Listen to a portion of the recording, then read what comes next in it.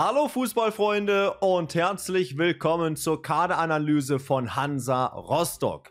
Die Rostocker spielen ja ein zweites Jahr in Folge aktuell in der zweiten Liga. Man ist im Abstiegskampf mit dabei, denn der Relegationsplatz 16 wie auch der erste direkte Abstiegsplatz ist gerade mal vier Punkte weg. Kurz vor Weihnachten gab es einen Trainerwechsel von Hertel hin zu Patrick Glöckner. Unter ihm gab es zwei Siege, ein Remis und satte vier Pleiten. Deswegen kommt man nicht so richtig vom Fleck.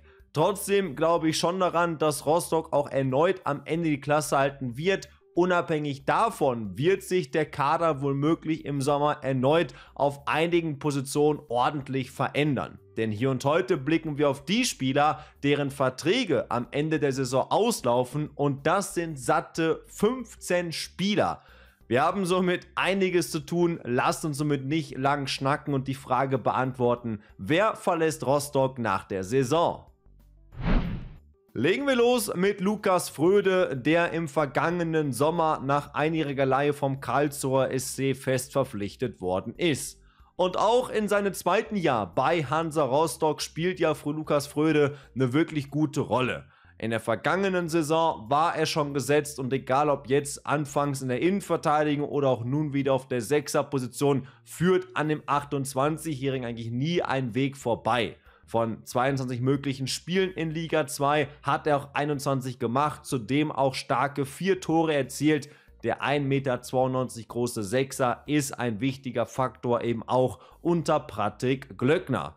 Sein Vertrag endet, er selber kann sich wohl durchaus gut vorstellen, an der Ostsee zu verlängern und auch bedingt durch seine guten Leistungen zuletzt scheint das meiner Meinung nach auch das realistische Szenario zu sein. Lukas Fröde und Rostock. Ich glaube, das wird auch über den Sommer hinaus weitergehen.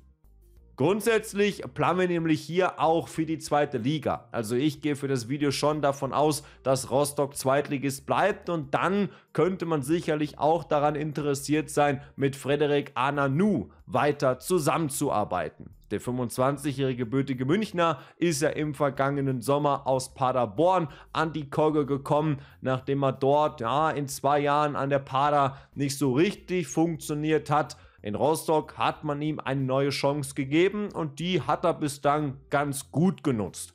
Über weite Teilen der Hinrunde war der Nationalspieler vom Togo eigentlich immer mal wieder so zwischen Bank und Startelf unterwegs. Unter Glöckner spielt aber wirklich eine sehr, sehr gute Rolle. In den letzten Spielen stand er immer in der Startelf und eben auch immer hat er durchgespielt entweder als rechter Schienenspieler, als klassischer rechter Verteidiger oder eben auch mal als Innenverteidiger.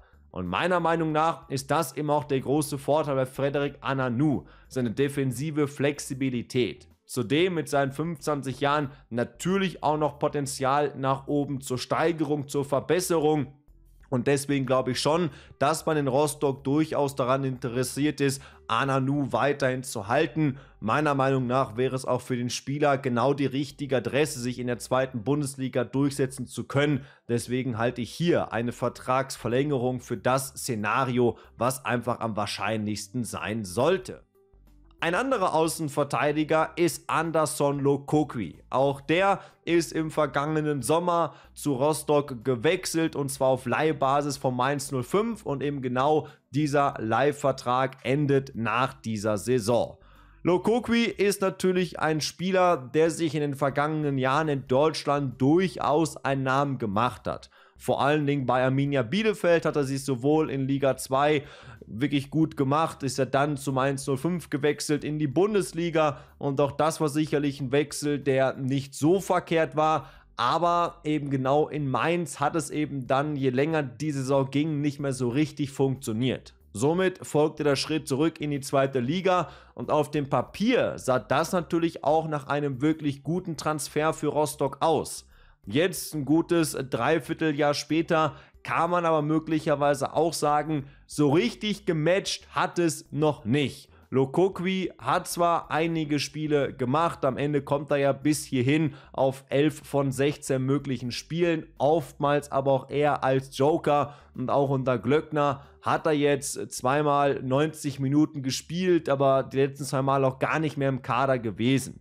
Deswegen ist für mich in diesem Video Anderson Lokokwi der erste Abgang, von dem ich hier ausgehe, weil es eben ja auch so ist, dass die Laie endet. Man müsste ihn im Sommer also kaufen und das halte ich bei den aktuellen Leistungen für sehr, sehr unwahrscheinlich. Ein Spieler, der sicherlich vor allem auch bei den Fans sehr beliebt ist, ist Lukas Scherf. Er ist gebürtiger Schweriner, sprich er stammt von der Ostsee, seit 2015 schon im Profiteam zuvor die Jugendabteilungen durchlaufen und ist natürlich einer, mit dem sich sicherlich jeder Fan identifizieren kann. Problem bei Lukas Scherf sind ja schon eine längere Zeit die Verletzungsprobleme. Erneut fällt er ja aktuell aufgrund einer Knie-OP aus und konnte sich deswegen noch so gar nicht, weder diese Saison noch in der Vorsaison in der zweiten Liga zeigen. Mit seinen 26 Jahren ist natürlich auch in so einem Alter, wo es dann schwierig ist zu bewerten, ist er dann gut genug für die zweite Liga, wenn er denn dann mal irgendwann wieder so fit ist, dass er einige Spiele machen kann. Ich kann mir vorstellen, dass es da intern auf jeden Fall Zweifel dran gibt, wodurch ich, auch wenn es natürlich ein bisschen wehtut durch die ganze Story dahinter, davon ausgehe, dass man sich am Ende darauf einigen wird, diesen Vertrag nicht noch einmal zu verlängern. Eine sehr spannende Personalie für dieses Video ist meiner Meinung nach Haris Duljevic.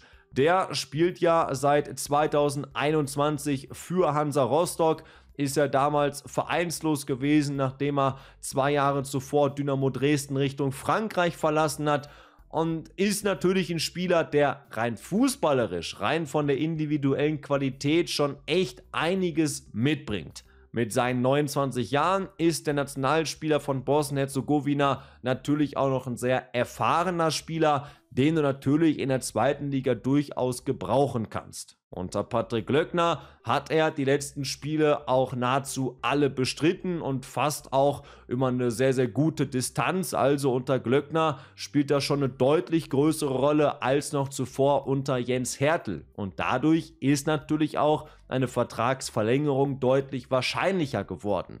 Was mich bei Duljevic allerdings noch so ein bisschen daran hindern würde, komplett 100% auf eine Vertragsverlängerung zu gehen, sind halt einfach am Ende die Leistungsdaten. Ja, er spielt deutlich mehr, er hat aber halt auch erst ein Tor vorbereitet und sonst keinen einzigen Scorerpunkt und das ist meiner Meinung nach für einen Offensivspieler einfach zu wenig. Deswegen wäre hier meine Herangehensweise, auf dem Markt zu schauen, welche Alternativen gibt es auf der Position, ähnliche Spielertypen scouten und dann mal gucken, ob die bezahlbar sind, ob sie besser sind. Wenn das nicht der Fall ist, kann ich mir schon vorstellen, dass man den Vertrag nochmal verlängert, weil er eben unter Glöckner aktuell eine gute Rolle spielt. Trotzdem für mich eine Geschichte, wo es noch nicht wirklich klar ist, wie das am Ende ausgehen wird.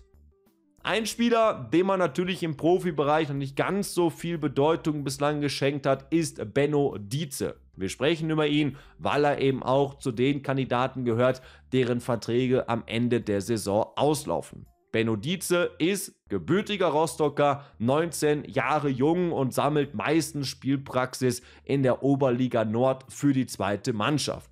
Sein Zweitligadebüt hat er aber auch in der aktuellen Spielzeit gegeben und zwar am Saisonanfang im Auswärtsspiel beim HSV.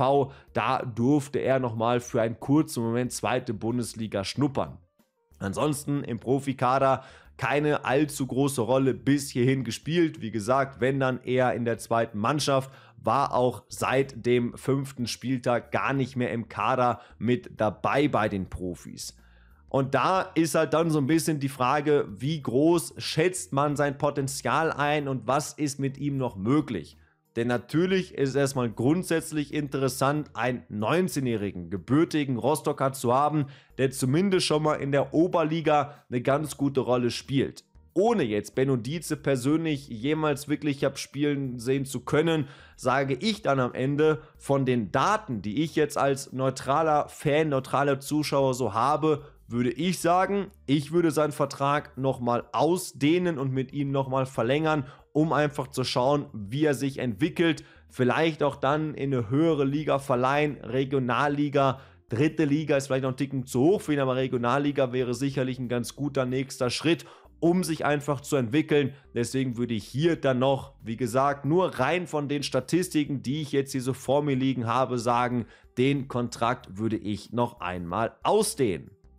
Etwas einfacher fällt mir dann die Meinungsbildung bei Svante Ingelsson. Ich persönlich bin nämlich ein großer Fan des Schweden, gefällt mir sehr, sehr gut, wie er einfach ein Mittelfeld einer Mannschaft wirklich beleben kann mit verschiedenen Elementen, nicht nur mit Kreativität, sondern eben auch mit einer gewissen Physis und Körpergröße. Ich finde Svante Ingelsson als Spielertypen unglaublich interessant. Sein Vertrag endet nach der Saison. Rostock besitzt aber, wie man hört, die Option auf Vertragsverlängerung um ein weiteres Jahr und mich würde es sehr, sehr stark wundern, wenn man diese Option nicht nutzen wird. Denn Svante Ingelsson ist ein Top-Mann für Rostock. 20 Zweitligaspiele, ein Tor und ganz, ganz starke sieben Vorlagen sprechen einfach für seine Qualität für mich gehört er ganz klar ins Zentrum der Rostocker hinein mit seinen 24 Jahren auch noch weiteres Entwicklungspotenzial. Diesen Vertrag musst du auf jeden Fall verlängern, im besten Falle direkt um zwei Jahre, weil ich finde, die Geschichte passt einfach sehr, sehr gut zusammen. Und auch für Ingelsson selber ist Rostock sicherlich dann ein Sprungbrett zu einem größeren Verein. Apropos größerer Verein, wenn man dann mal so auf die Scorerwette schaut, könnte natürlich auch vielleicht schon für die kommende Saison interessant sein für andere größere Vereine, vielleicht auch beispielsweise in Liga 2 für Teams, die um den Aufstieg mitspielen wollen. Das kann ich mir dann schon vorstellen. Umso wichtiger aber eben auch, den Vertrag zu verlängern, um im Fall der Fälle eben dann zumindest eine Ablöse zu kassieren. Aber einer Vertragsverlängerung steht sicherlich erstmal grundsätzlich relativ wenig im Wege. Dong Jong Lee ist ja ein Spieler bei Hansa Rostock, der auch noch kurz vor Transferschluss gekommen ist. Da hat man ja unter anderem mit Van Drongelen, mit Lukokwi nochmal einige Spieler hinzugeholt aus der Bundesliga ausgeliehen und dazu gehörte eben auch Dong Jong Lee. Denn der ist ja im vergangenen Winter aus Südkorea zum FC Schalke 04 gewechselt, auch das auf Leihbasis. Diese Laie mit Schalke wurde aber dann im Sommer aufgelöst. Ulsan Hyundai, sein Stammclub, hat ihn dann weiter verliehen zu Hansa Rostock und somit ist er seit dem 1. September auch offiziell Rostocker. Und das eben auf Leihbasis bis zum Saisonende. Der 25-Jährige hat ja in Südkorea vor Dingen auch durch Kreativität und Technik überzeugt. In der zweiten Bundesliga hat er sowohl auf Schalke als auch hier jetzt in Rostock noch keinen großen Impact gehabt. Acht Spiele hat er diese Saison gemacht, ein Tor vorbereitet und die letzten Male unter Patrick Löckner hat er dann mal ein paar Kurzeinsätze bekommen, oftmals aber auch wirklich ohne Einsatz im Kader geblieben. Und natürlich hört man auch bei Lee immer wieder, dass es für ihn einfach etwas schwierig ist, sich in Deutschland anzupassen. Integrationsmäßig ist es nicht ganz so einfach und eben auch ist die zweite Bundesliga nicht ganz so perfekt für das, was er einfach von seinen Fähigkeiten mitbringt. Und deswegen gehe ich sehr, sehr stark davon aus, dass dieses Kapitel im Sommer zu Ende gehen wird. Dong Jong und Rostock hat bislang genauso wenig funktioniert wie Dong Jong und Schalke. Apropos Schalke, ich als S04-Fan kann mich sehr gut daran erinnern, als Pascal Breyer gegen uns auf Schalke das Tor für Hansa Rostock geschossen hat. Und da hatte ich auch in der vergangenen Saison gesagt, sicherlich nicht verkehrt, mit Pascal Breyer einen erfahrenen Offensivspieler zu haben, den du immer wieder reinschmeißen kannst. Gut, in der aktuellen Saison wurde er aber dann doch nicht so oft reingeschmissen. In der zweiten Liga hat er nur viermal gespielt und das waren allesamt Kurzeinsätze. Der letzte war am 9. Spieltag Mitte September. Denn danach ist Pascal Breyer aufgrund von Rückenproblemen ausgefallen. Im neuen Jahr ist er an sich wieder fit, stand aber noch gar nicht im Kader. Und deswegen ist für mich auch hier die Sache klar. Den Vertrag mit Breyer solltest du nicht mehr verlängern, weil es bietet für beide Parteien einfach keinen wirklichen Mehrwert. In der Offensive hast du einerseits gute andere Kicker, andererseits kannst du sicherlich auch auf dem Transfermarkt im Sommer nochmal zuschlagen und dich verbessern. Pascal Breyers Kaderplatz musst du eben dann auch mit einem anderen Akteur besetzen. In der aktuellen Spielzeit spielt er keine große Rolle mehr und deswegen ist für mich sein Abgang auch nahezu klar. Ähnlich sieht es meiner Meinung nach auch bei Rich Munzi aus. Der gebürtige Schweizer spielt ja seit 2021 für Hansa Rostock, aber es hat halt nie so wirklich funktioniert, seitdem er von den Würzburger Kickers hier an der Kogge spielt.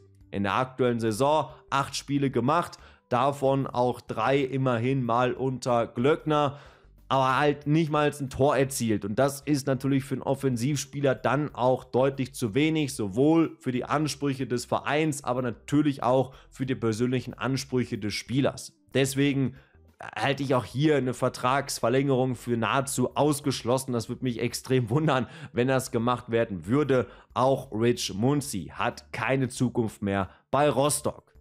Der nächste Spieler ist Ryan Malone und da haben wir dann wieder eine etwas andere Ausgangslage. Wir haben hier einen sehr erfahrenen Innenverteidiger, der über weite Strecken der Saison sicherlich gute Leistungen zeigt und auch größtenteils gesetzt ist. 19 Spiele in Liga 2 zeigen das ja auch zuletzt.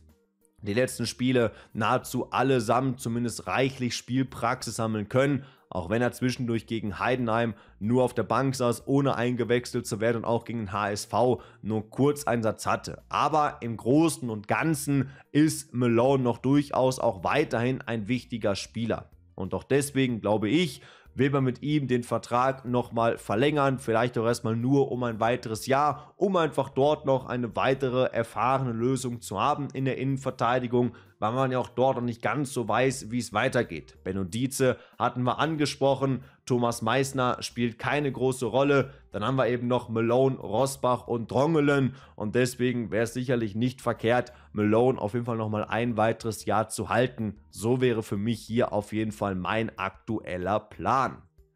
Ein Plan hat man bei Maurice Littgar möglicherweise aktuell nicht mehr zwingend, weil man einfach gucken muss, wie sich die ganze Verletzungsgeschichte bei ihm erstmal entwickelt. Denn der fällt ja schon längere Zeit aufgrund eines Knorpelschadens aus, hat diese Saison keine Sekunde auf dem Platz oder nicht mal im Kader stehen können.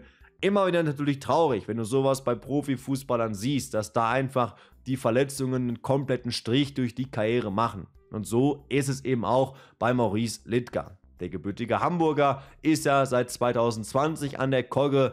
Und ja, das Kapitel wird meiner Meinung nach im Sommer eben dann auch sicherlich zu Ende gehen. Klar ist es nie so schön, wenn es eben dann endet, weil der Spieler sich gar nicht mehr zeigen konnte aufgrund von Verletzungen. Ist ja auch ähnlich wie bei Luca Scherf aber es macht halt auch einfach rein sportlich, rein finanziell keinen Sinn, hier irgendwie nochmal eine Vertragsverlängerung anzustreben. Dafür weiß man eben auch gar nicht genug, ob denn ein Litka in Liga 2 überhaupt funktionieren kann, weil er ja dort zuvor noch nie wirklich so wirklich gespielt hat aufgrund der Verletzungen. Schade um den Spieler selber, blödes Kapitel sicherlich auch für ihn, aber das muss dann eben auch im Sommer zu Ende gehen. Ein Akteur, der sich über die Wintervorbereitung durchaus in den Fokus gespielt hat, ist Kevin Schumacher.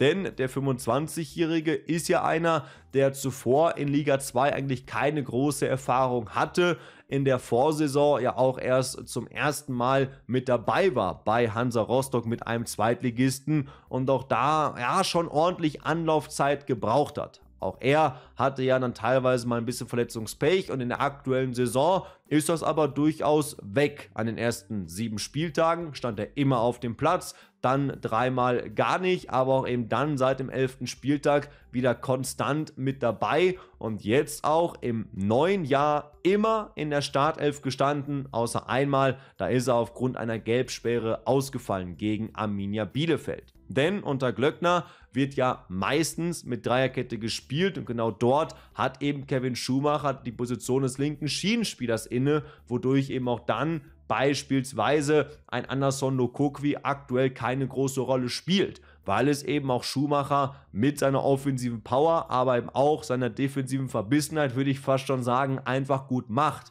Und auch hier haben wir wie Svante Ingelsson die Option einer Vertragsverlängerung um ein weiteres Jahr. Und das wird man auch sicherlich machen. Mich würde es hier schon wundern, wenn man mit Schumacher nicht weiterarbeiten würde. Er macht es aktuell wirklich gut. Glöckner setzt auf ihn. Warum also nicht den Vertrag nochmal ausdehnen? Zwei Spiele haben wir noch und einer davon ist Rick van Drongelen. Der ist ja im vergangenen Sommer aus der Bundesliga gekommen, wurde da im Transfer Dreierpack mit Lee und Lokokwi geholt. Er ja auf Leihbasis von Union Berlin. Und wer Rick van Drongelen kennt, weiß natürlich auch, in seiner Karriere gibt es trotz seiner 24 Jahren schon ordentlich Höhen und Tiefen. Denn wenn man mal überlegt, dass er ja 2019 mit einem Marktwert von 8 Millionen Euro ein unglaublich wertvoller Zweitliga-Kicker war beim HSV, ist es ja danach für ihn sowohl bei Mechelen und das Recht nicht bei Union Berlin wirklich mehr gut gelaufen. Deswegen war es für ihn noch ganz wichtig, einen Verein zu finden, wo es vor allen Dingen darum geht, Spielpraxis zu bekommen. Und genau diese bekommt er ja bei Hansa Rostock. Mittlerweile kann man sicherlich sagen, ist er dort auch voll und ganz angekommen. Man könnte sagen, er ist auch der Abwehrchef als Linksfuß, als Führungsspieler, auch wenn er erst in Anführungszeichen 24 Jahre alt ist. Und deswegen ist es natürlich auch für ihn ein Club, bei dem man normalerweise bleiben müsste, finde ich weil er ist meiner Meinung nach jetzt an einem Punkt in seiner Karriere, wo es ein weiteres Jahr auf jeden Fall wichtig ist, zu spielen, verletzungsfrei zu bleiben und eben auch das Vertrauen des gesamten Vereins zu haben. Bei Union Berlin sehe ich ihn persönlich da auf jeden Fall nicht. Das Gute ist aber, sein Vertrag dort läuft noch zwei weitere Jahre. Deswegen würde ich hier auf jeden Fall anpeilen, die Laie nochmal um ein weiteres Jahr zu verlängern. Kaufen da sehe ich Rostock bei so einem Spielertypen dann, glaube ich, eher nicht. Wäre sicherlich schon durchaus teuer, das machen zu können. Vielleicht wird auch Union ein bisschen entgegenkommen, aber ich würde hier erstmal eine weitere Leihe anstreben, um ein weiteres Jahr. Da kannst du halt dann noch am Ende von allen Seiten aus nicht wirklich was mit falsch machen. Trotzdem würde ich auch sagen, ist aktuell noch so ein bisschen fraglich, ob er bleibt oder nicht, weil es eben da noch keine gesicherten Infos so gibt und noch keine klaren Klauseln in den Verträgen. Aber Rick van Drongelen hat mit Rostock einen Club gefunden, der genau zur richtigen Zeit am richtigen Ort einfach war. Und nun kommen wir zur letzten Personalie. Und das ist der Kapitän. Das ist, ja, man kann natürlich schon sagen, ein Spieler, der sich für den Club seit einigen Jahren schon zerreißt, nachdem er 2019 von Wien Wiesbaden gekommen ist, Markus Kolke. Kapitän der Mannschaft, 32 Jahre alt, Führungsspieler schlechthin und natürlich auch ein Spieler, mit dem sich viele Fans komplett identifizieren können. Und auch in der aktuellen Saison ist Kolke die klare Nummer 1 in allen Zweitligapartien über die volle Distanz auf dem Platz gestanden. Im vergangenen Sommer hat man ja mit Nils Jonathan Körber einen neuen Keeper geholt von Hertha BSC als Nummer 2 eben auch, um sicherlich ein bisschen Druck auf Kolke zu machen. Ich finde, mit Körber hat man auf jeden Fall eine gute Nummer 2, dem ich auch durchaus den Sprung zu Nummer 1 zutrauen würde. Trotzdem gibt es für mich keinen Grund, den Vertrag mit Kolke nicht zu verlängern. Er bringt weiterhin gute Leistungen, ist Kapitän, also warum den Vertrag nicht verlängern, müsste für mich auf jeden Fall eigentlich auch nur noch eine Frage der Zeit sein. 15 Personalien abgehakt, somit war das Video mal einen Ticken länger, ist aber natürlich auch logisch, sicherlich aber auch nicht zu lang und deswegen nochmal ganz kurz zur Übersicht Verbleib, ja oder nein. Bei Lukas Fröde bin ich mir auf jeden Fall sicher, dass er bleibt. Bei Ananu spricht halt die Tendenz für ihn. Dietze, wie angesprochen, warum nicht? Junges Talent. Mal gucken, wie er sich entwickelt, würde ich auch noch halten. Bei Ingelsson ist die ganze Geschichte auf jeden Fall klar. Malone vielleicht ein Ticken wackeliger. Ich kann mir vorstellen, da sagen auch einige Fans, hm, nee, da würde ich eher wen anderes für holen. Könnte ich verstehen. Ich glaube aber hier eher an eine Vertragsverlängerung mit Kevin Schumacher und Markus Kolke würde ich auf jeden Fall weitermachen. Fraglich für mich auf jeden Fall Duljevic, kann ich nicht so richtig einschätzen, ob man da jetzt wirklich komplett weitermachen mit möchte oder vielleicht sich anders umschaut. Bei Van Drongelen will man sicherlich weiterarbeiten, da hängt natürlich aber auch vieles von Union Berlin ab. Abgänge sind für mich dann auf jeden Fall glasklar. Mit Lokokbi, Scherf, Lee, Breyer, Munzi und Litka die würde ich auf jeden Fall allesamt abgeben, weil ich bei denen keine Zukunft mehr bei Hansa Rostock sehe. Und jetzt könnt ihr mal gerne eure Meinung abschließend in die Kommentare schreiben. Mit wem würdet ihr verlängern? Wen würdet ihr abgeben? Und schlagt auch gerne weitere Teams vor für dieses Format. Und dann sehen wir uns im nächsten Video wieder. Macht es gut, ciao. Und bleibt am Ball.